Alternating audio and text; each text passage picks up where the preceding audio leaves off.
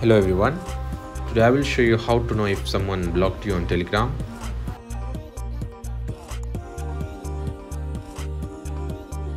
First open up Telegram.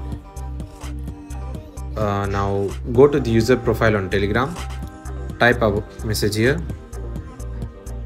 If the message remains a single tick, does not get converted to a double tick even after a long time, this is the first sign that people have might have blocked you the person might, may have blocked you the second sign is that you cannot see the profile picture of the user.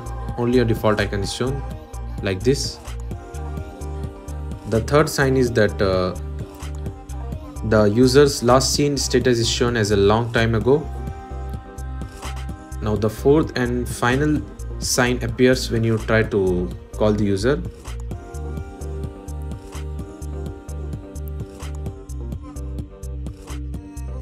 you try to call it means the person has likely blocked you.